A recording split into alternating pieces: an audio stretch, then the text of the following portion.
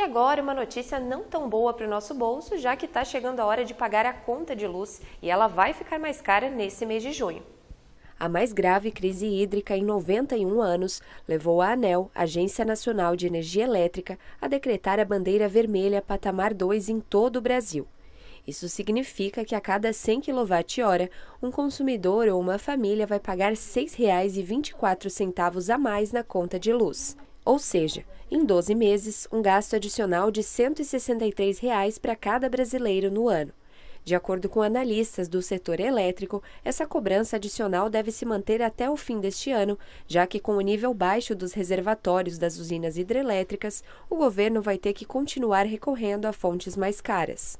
Existem as bandeiras verde, amarela e vermelha, além do patamar 1 e vermelha patamar 2.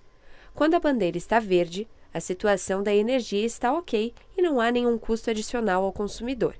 Quando está na bandeira vermelha, patamar 2, como nesse mês de junho, a situação é a mais cara possível.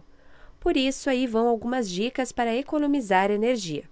Adquira aparelhos elétricos eficientes. Desligue o computador se não for usá-lo dentro de uma hora. Não deixe o carregador de celular na tomada sozinho, ele consome energia elétrica mesmo assim. Aproveite a luz natural dos ambientes. Evite usar a função standby dos aparelhos. Escolha lâmpadas de LED. Use a função timer da TV. Mantenha o ar-condicionado em uma temperatura agradável. Utilize a geladeira com eficiência. E passe as roupas de uma única vez.